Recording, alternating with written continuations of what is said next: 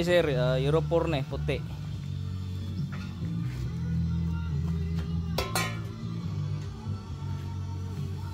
Simbolo na mo karon. Muna ilanan sa Euro 4 na ay wire ang tambutso.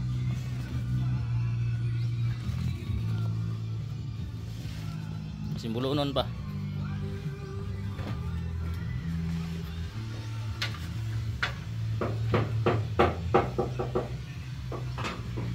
Mga ni yang ilanan ka ng 1 to 6 PS RDI.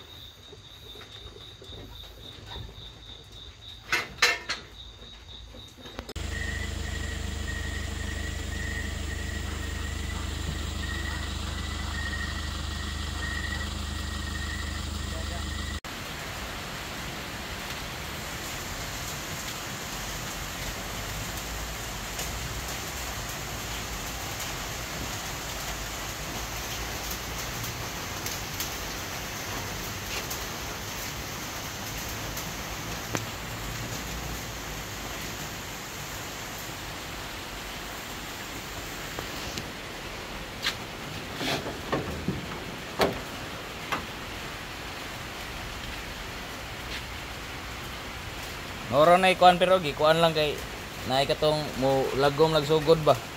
Murag inani ra gud lagom mo tong gi anaan na lang pod siya para di mo kuan inani ra siya ba. Mo pay pagpula ba. Inani siya ba pula. Gikuan lang gitira na lang diretso. Gwapo po katira ang kulot mo. Hinlo kayo. Murag inani siya ba. Gikuan na lang daan.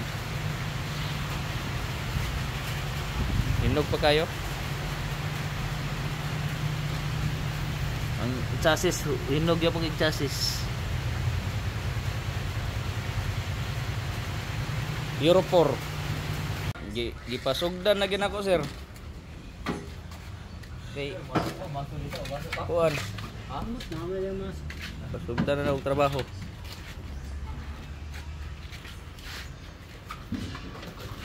Eh, sorry.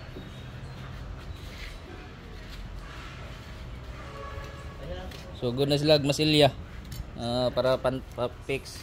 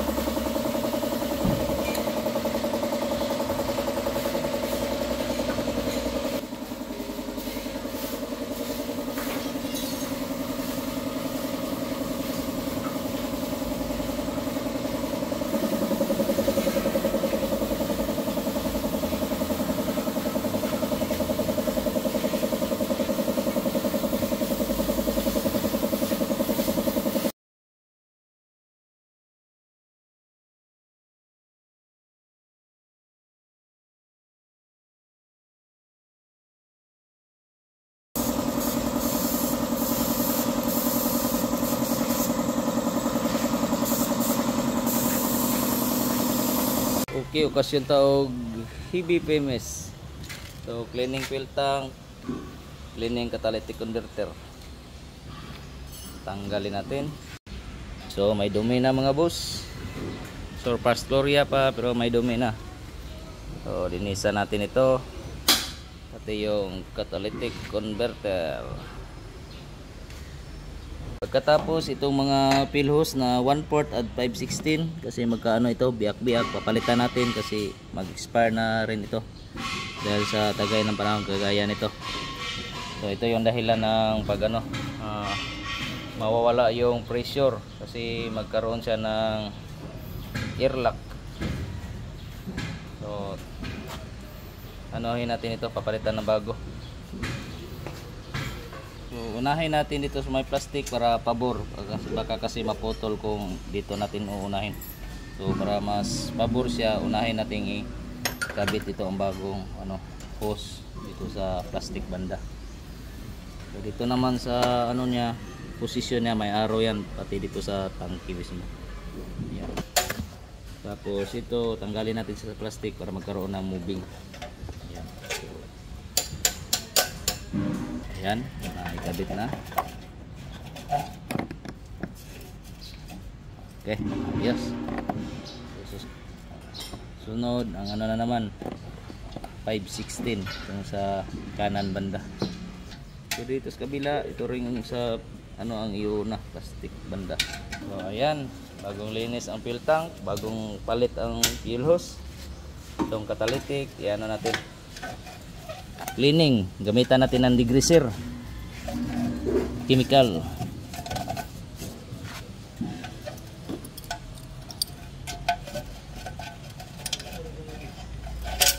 Yan. Tingnan natin kung mayroon bang carbon. So, kaunti pa lang ang carbon. Uh, video uh, ano natin, lawan. Okay, kaunti pa lang ang carbon. Pero lagyan na natin ng degreaser kasi gaya nito. Ayan. Catalytic converter natapos nang na ano? Linis. Ayos. So, wala na yung mga carbon.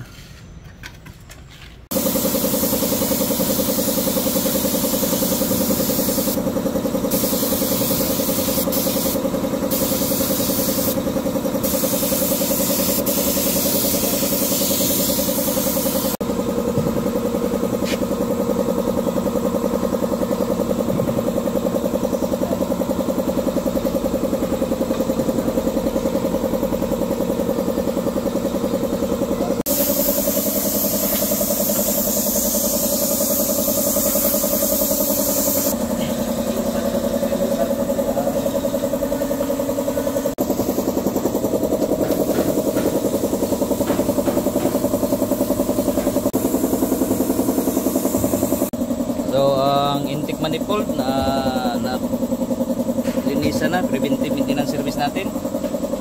Ayan. So, nilinis ni Junior. Batan batukan. Intake manifold, EGR cooler, at saka EGR valve. Kabila, uh, check natin ang coolant thermostat. Tapos linisan din natin ang turbo. Ang fan belt, check din natin. So, ayan, expire na. So, papalitan natin ng bago. Check din natin mga tensioner bearing. Ang apat, para wala nang balikan kung mabili ito. Silicone oil, check din natin. Okay pa. Palitan na natin ng bagong thermostat. Ah, bagong fan belt na naman ang ikakabit natin.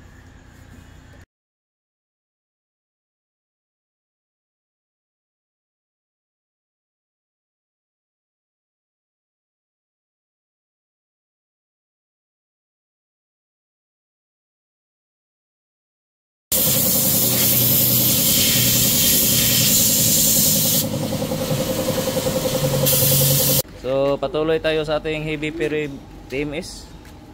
So ito yung oil pump strainer na surplus Korea pero nagkaroon na ng carbon. So ayan. So dito tatanggalin natin ang apat na fuel injector for fuel injector test tapos papalitan ng bagong injector washer. Ang aircon naman i-cleaning natin. Evaporator para ano kasi tulad nito tingnan natin ang dumi ayan. Ito kasi ang magkukos ng kanseros sa atin. Napakaliit na mga alikabok. So ang sarap ng ano natin ang feelings na malamig ang aircon. Pero ang buga pala may ano ito yung pampasok sa ilong natin. So kanseros ito lalo na sa tanghaling tapat. So ito yung ano niya napakadumi. So dapat linisan talaga bago gamitin dito yan sa ano magpasok sa ano natin blower ayan. So nahigop niya. Oh, ayan napaka dumi so linisan natin dito ang ano niya housing mismo sa evaporator. Kasi kung diretso natin yung lalagyan ng preyon kawawa yung may-ari. So ito po ang fuel injector number 1 so naiwan ang washer. So kailangan talagang linisan yan dan akademi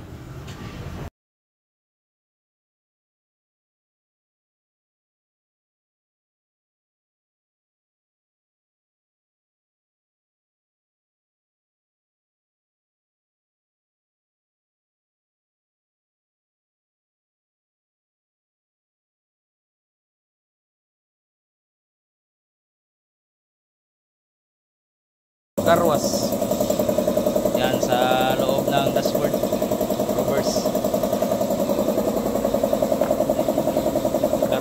Okay. Dala daw sa Asia. Oh, per, oh. G.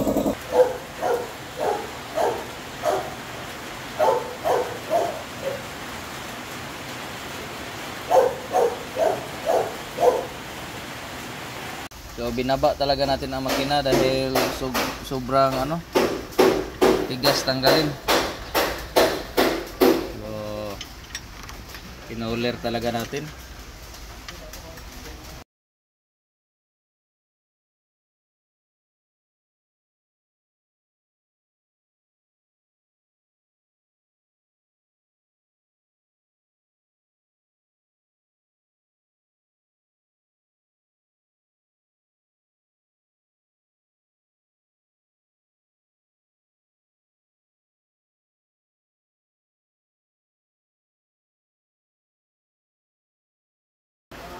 Ito dapat palitan talaga kaagad.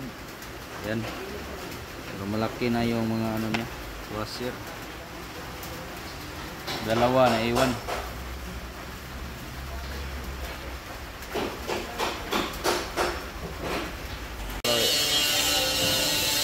Okay, sa orange ito na ano, Euro 4. So, ejector test natin ang apat. Tingnan natin ang delivery return. Ito pangalawa, 12.5 ang reading sa una. Pangalawa,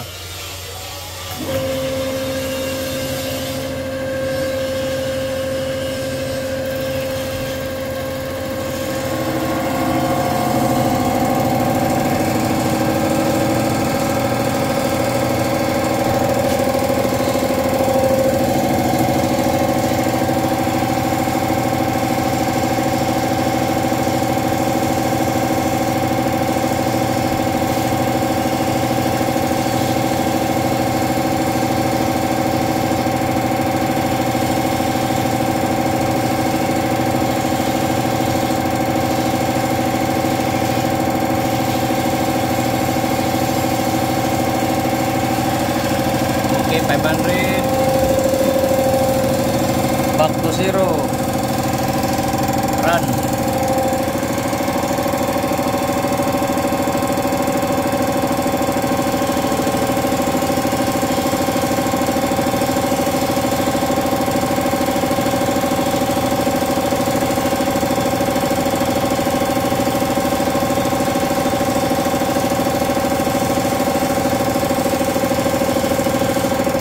Five hundred.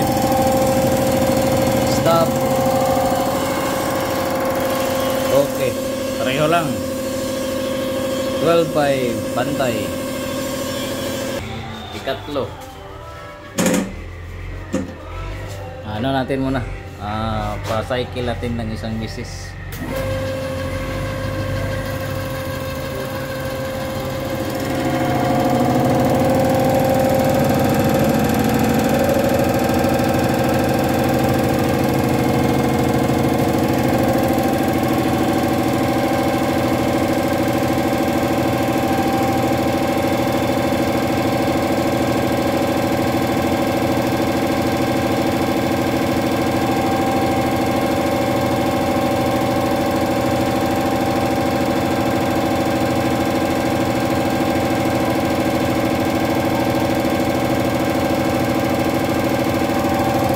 Okay, inject time is 500. Run.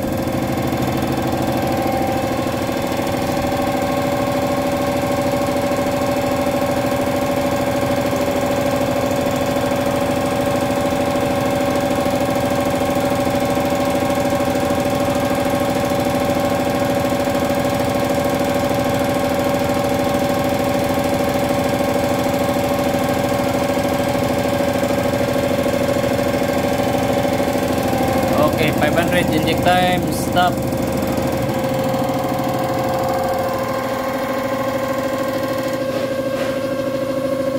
Okay. 12.5 pa rin. Pareho lang. So, stop muna natin yung motor. So, last na lang yung isa. Okay, last. Pang-apat.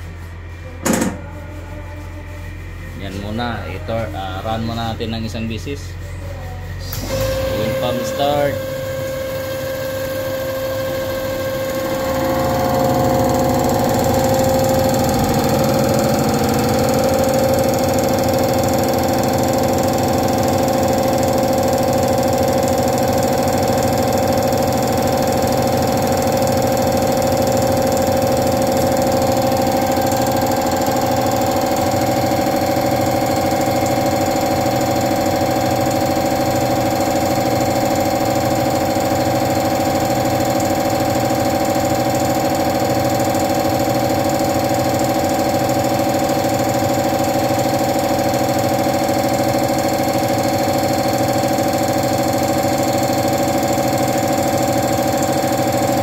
Inject times 500.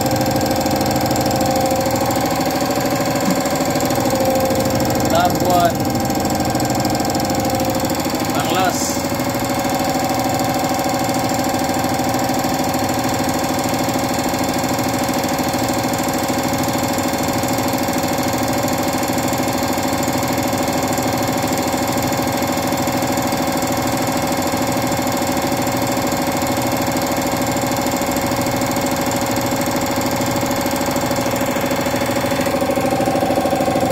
Okay.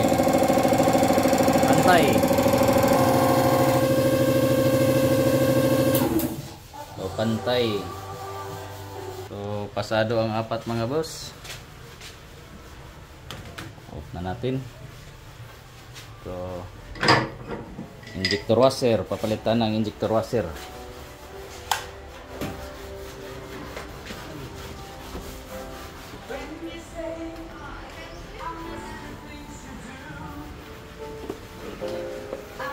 So, injector washer lang.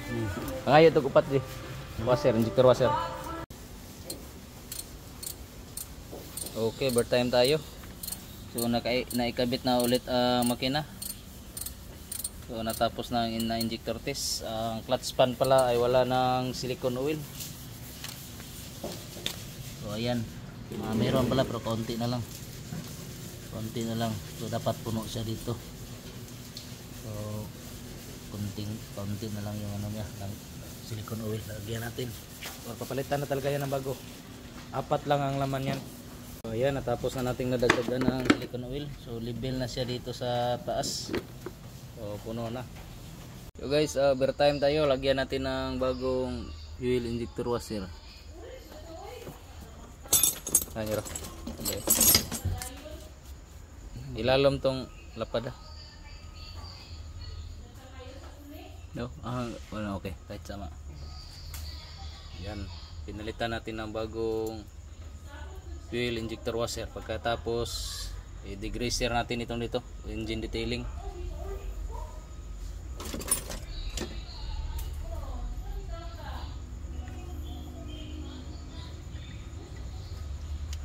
Yan. So, nilagyan din natin ng coolant.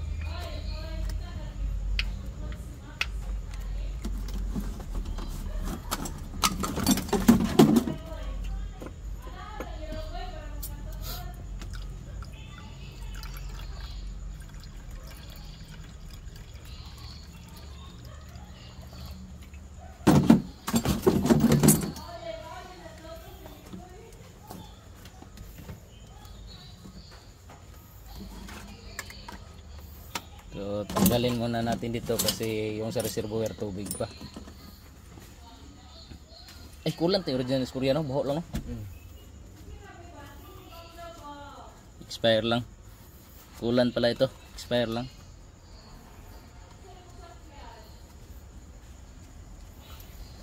Bukas, ano na lang, pandarin natin ngayon. Tapos bukas, ah, engine detailing na lang. So, binaba talaga natin ang makina kasi, ano, ah, sobrang tigas na fuel injector. So, nag-ano tayo? Cooler. Okay, start.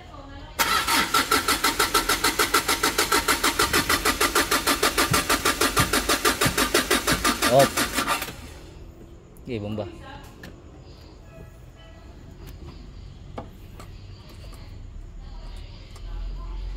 Hindi. Hindi. Op, number one. Sira.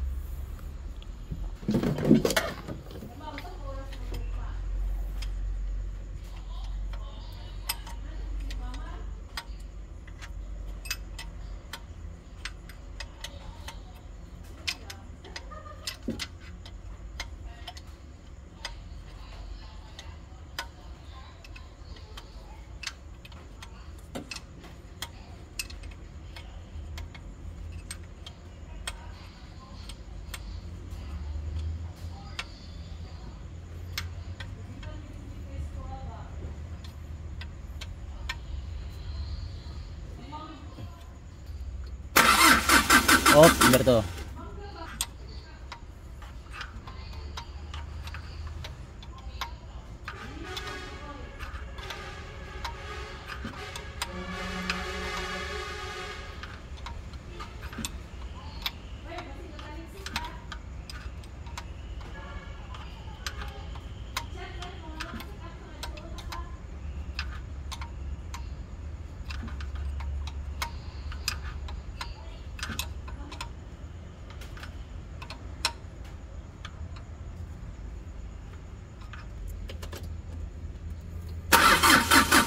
Number three.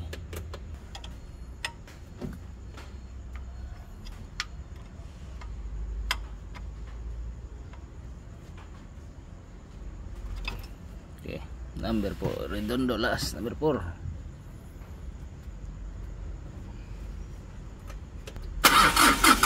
Okay.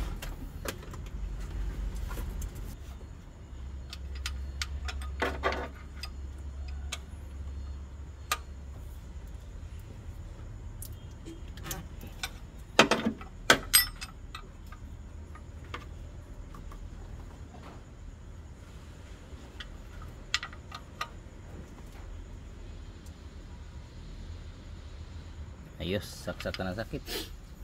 Number 4.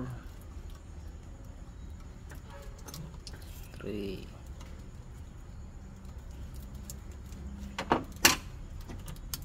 Two. One. Complete. Okay, kanginan sa nato para walay krudo ang sa blue knitting. Start.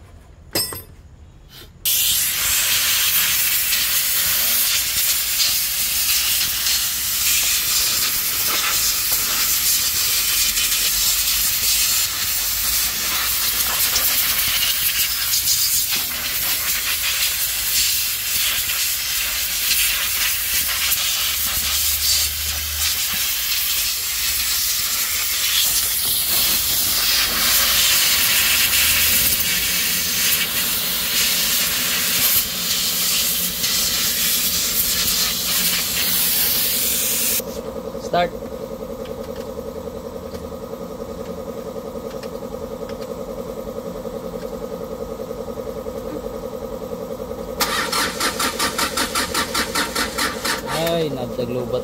Start.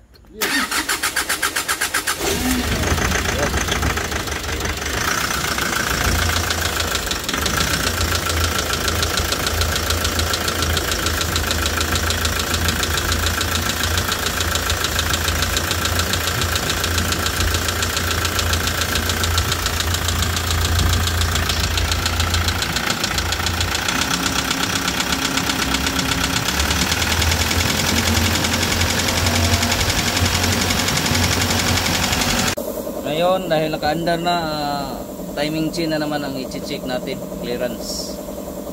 So, okay pa ba?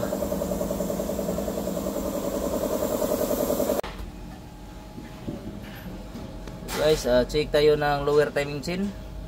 So, patuloy tayo sa ating heavy PMS.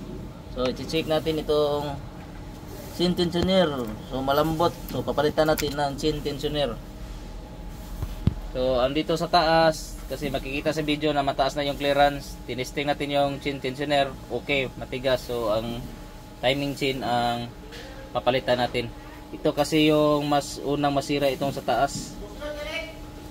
Ito po ang ipapalit natin sa gitna na chain tensioner.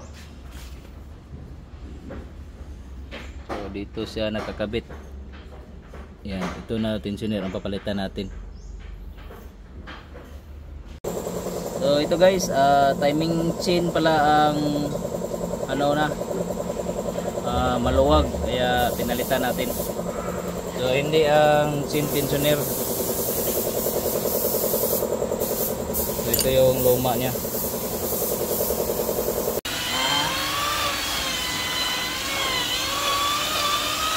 Sinaw na kayo, boss. Kaya kita lang agbakang mo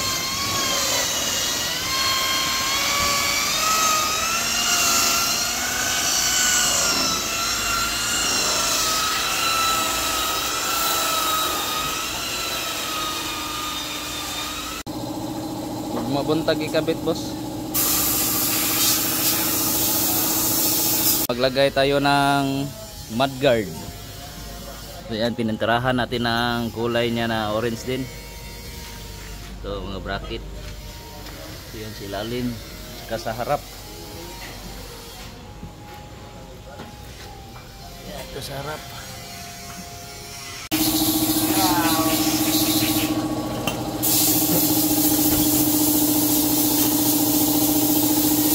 Cool, Sir cool!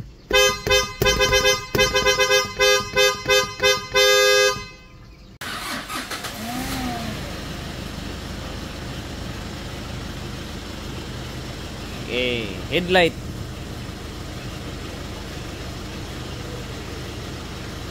Paglight hazard. So, dumating na yung plate number for release na. Ayan, naka clearance light. Loaded mudguard, chrome.